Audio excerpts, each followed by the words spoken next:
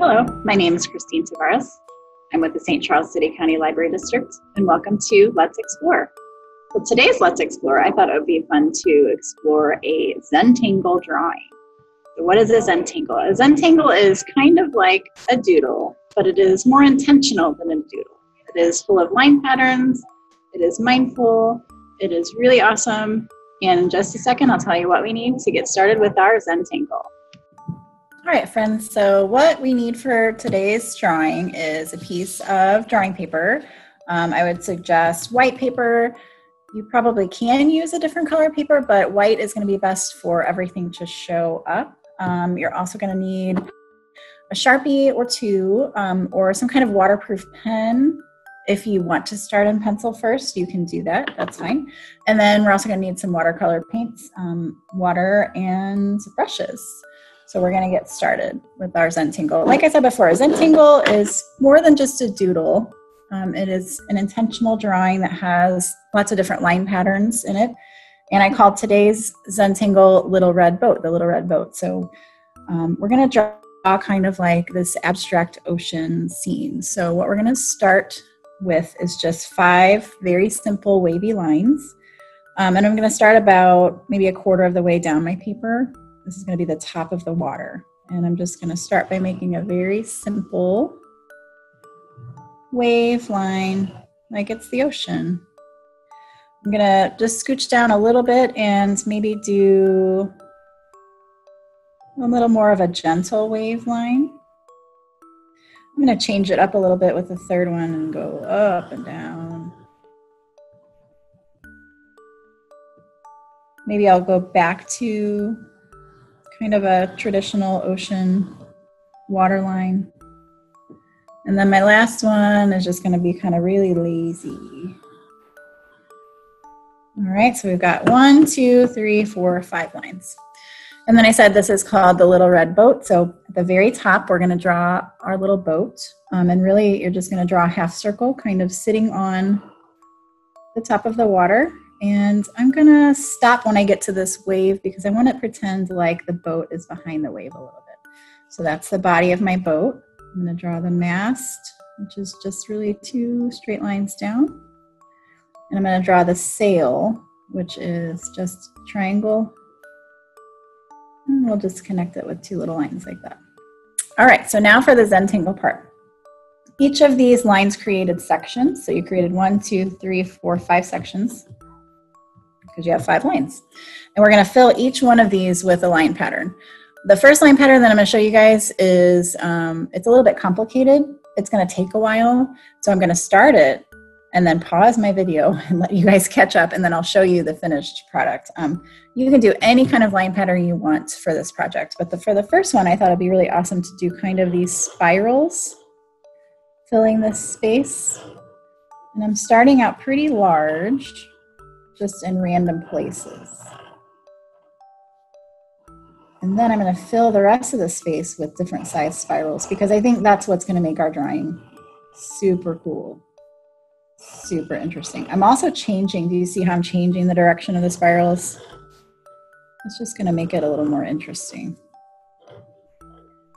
All right, so I've got my larger spirals going. And I'm going to start over here and just kind of start filling the space with spirals. Some of them will be smaller, some will be bigger. And you guys could probably just sit and watch me draw spirals for 20 minutes and be mesmerized, but I'm not going to take up all of your video time by doing that. So I am going to pause it and I'll get back to you when I have filled the space with my spirals.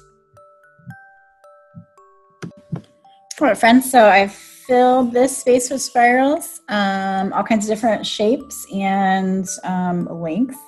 And this, I would say, is very busy for our eye to look at. So my next pattern is going to be very simple um, so that our eye has a break. So we're going to go down to this next section. And really all I'm going to do is I'm going to fill this space with kind of lazy, wavy lines that just follow that top line and just go across the paper. Now I'm going to run into some other waves here, so I'm going to stop and then continue. We're going to pretend that this pattern is behind this pattern.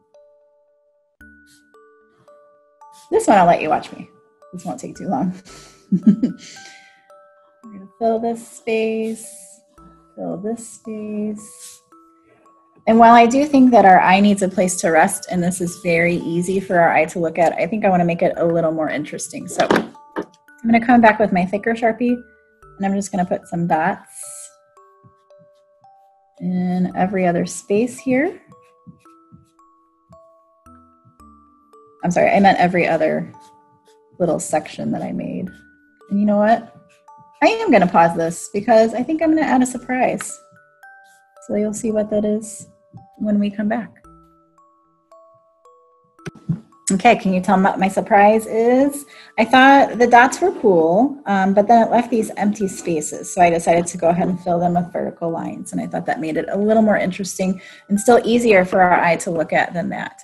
Okay, our next section, we're gonna come down here and we are gonna do a zigzag pattern. So let's see, first, I'm gonna start with my thicker Sharpie I think I need some bold lines in this section. We're going to do just some big, loose zigzags. They don't have to be perfect. They won't be perfect because I'm not a machine.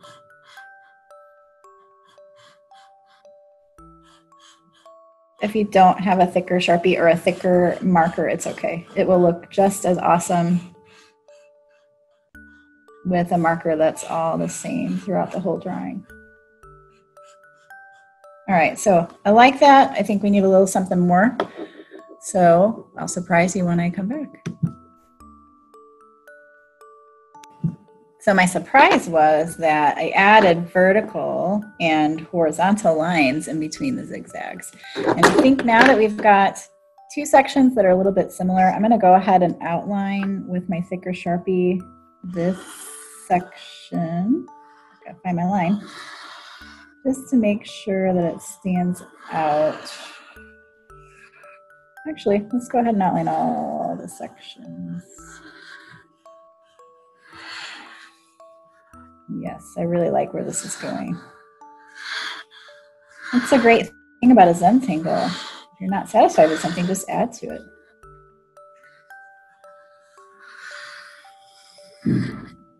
All right, awesome.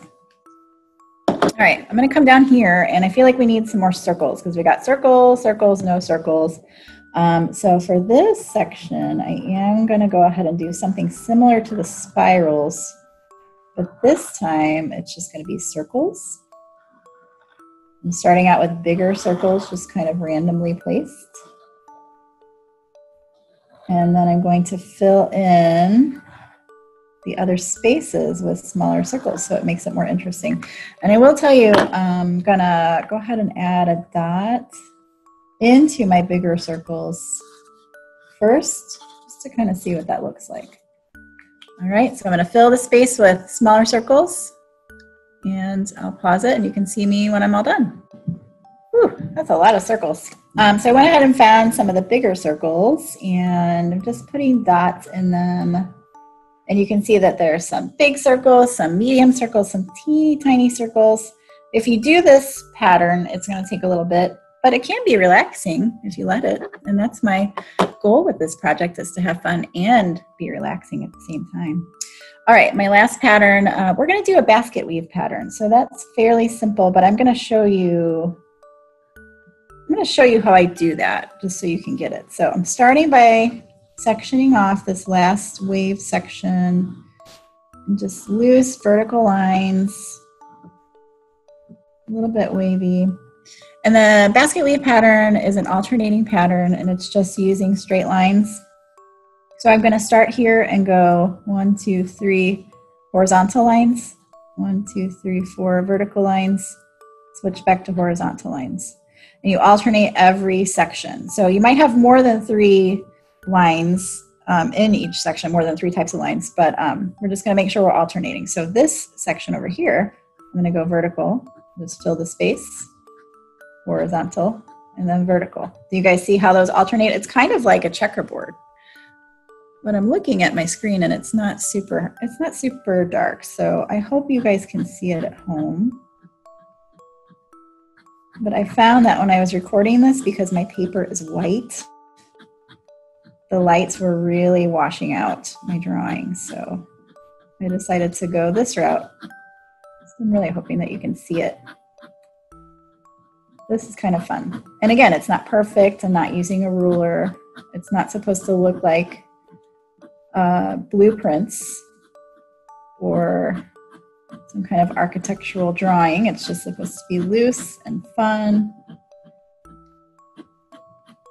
And it can be very interesting. And patterns are getting bigger and bigger. Whoa. That's okay. Almost done. So this way we call it a, a, a woven pattern or a basket pattern is it, it kind of looks like, if you look at a piece of fabric up close, kind of looks like the threads. Or if you've ever looked at a basket up close, it kind of looks like that. Okay, so we're done with the line patterns, but I did notice that I probably, because I have these thick lines here, I think I need a thick line at the top. So I'm just gonna carefully outline this. We're gonna make sure we don't hit the boat too much. All right, that looks great. All right, now the fun part, painting. So we have one, two, three, four, five sections to paint. And we have the little boat. So I called this project the Little Red Boat Zentangle. So I'm gonna make my boat red. You can make your boat whatever color you like.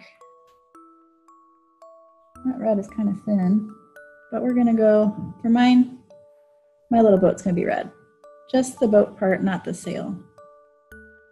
All right, and then my ocean water, I'm gonna use different shades of blue. So I'll show you guys how to do that. Um, if you think about the ocean, the water is pretty light at the top. So I am gonna start with this lighter blue and just see if we like that. I think I like that. I might wanna add a little green to it though. The cool thing about watercolor is that you can mix, you have a little bit of time to mix. Let's see what this green does.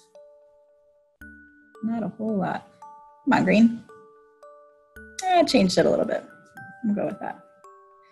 I'm gonna go with this lighter blue, and then I'm gonna get darker as I go down, down, down, down to the ocean floor, to where I'll be mixing a little bit of blue and black together. But you guys can paint your ocean however you want. Maybe some of you guys want to do a rainbow ocean, or um, maybe an ocean at sunset would have um, the water would be kind of oranges and reds and purples. That might be interesting too. And my paper is not really accepting this watercolor. Um, it's not watercolor paper. That's probably why. It is a nice drawing paper. So it's going to take a little bit for it to dry. That's why you see me moving it around. If you're using copy paper or watercolor paper, it's going to soak it up really fast and you're not going to have the chance to move it. Did you also notice how my lines are not bleeding they're not going anywhere because I made sure to use Sharpie or something waterproof. If you didn't use a Sharpie or something waterproof, you might see that your black lines are starting to bleed, which can be kind of cool. Um, there is a book called The Rainbow Fish, and the art in that book is watercolor, and the artist um, went ahead and used a pen that was not exactly waterproof, and so you'll see that the lines are kind of blurred a little bit, the black lines. And That's actually kind of cool. So that could be a cool effect.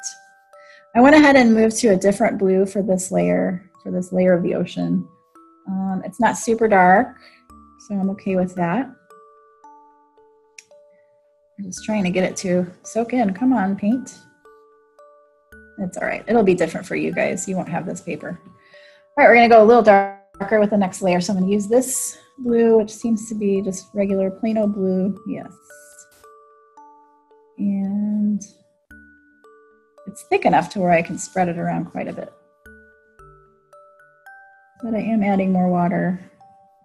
I don't want it to be so thick that it covers up my cool lines. Oh, I see that I forgot a line here. Too late. Can you guys see it? You see where I forgot to outline something? I could try to do it now, but the Sharpie probably wouldn't work on the wet paper. So I'll have to do that later. So if you finish your drawing slash painting and you want to come in and show me, I will show you that I will have corrected this little tiny spot that I forgot to outline. So I hope you do come in to show me because I would love to see what you guys create. All right, now for a darker blue. So I'm going to start with that blue that I just finished up using. So really it's okay if I get it on that section above. But I'm going to add some purple to make kind of like a violet blue to make it even a little bit darker. So let's grab some of this purple and start mixing. Do you guys see how that sort of looks like the violet blue crayon or violet purple, I guess it's called? Blue violet, violet purple. They're almost the same, but not quite. Anyway, we made a darker blue by adding some purple. You can um, make a darker blue by adding um, red too. That will just make a purplish blue, but it will make it darker. All right, I like that. It looks like we're getting deeper into the ocean. Okay, my last section, I told you I was going to mix a little black. So I'm going to go back to this darker blue that I have. Um, I probably am going to go ahead and add some, bring some of that purple back in, just so we're staying consistent. Oh, I forgot to rinse. Shame, shame, Mrs. Tavares. Or Miss Christine, I should say. My old students used to call me Mrs. Tavares. That's a hard habit to break. You can call me that if you want. All right, so we're adding just a tiny bit of black. See how dark that black is? I don't want it to, to totally take over my section here, but it did make it a darker purplish blue. And I do like that. I like how it did that. And this is gonna take a bit to dry. But like I said, if you guys come in and see me, I'll show you my finished product and I think, I think you will like it. All right, so that is how to make very interesting Zentangle with our little red boat. So, like I said, come in, see me, show you what you made, and we'll see you next time on Let's Explore.